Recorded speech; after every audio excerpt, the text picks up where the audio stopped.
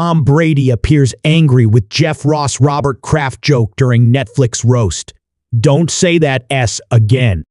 Ross referenced Kraft's soliciting sex charge from 2019, which was eventually dropped.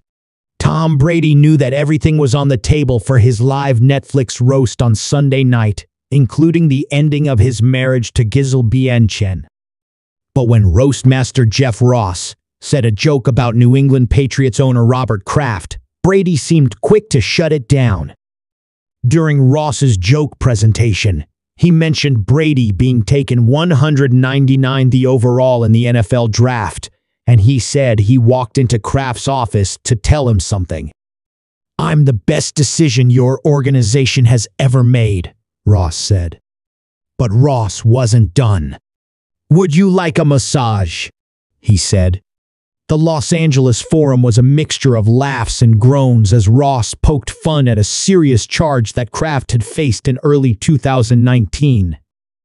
In February 2019, Kraft was charged in a multi-county investigation of massage parlors that included a secret video recording in the Spaz's lobbies and rooms.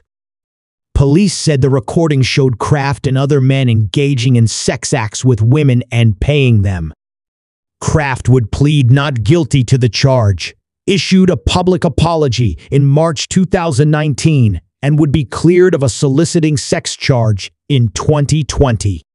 Brady turned toward Ross once the joke was said, and as Ross looked over at Kraft in the crowd, Brady came into frame and tried to whisper something to Ross. But it was caught by a microphone.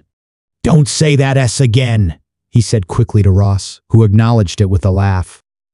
Brady likely knew there were going to be some things said that he might not like, but he seemed to want the subject of the jokes to stay with him, not his former owner.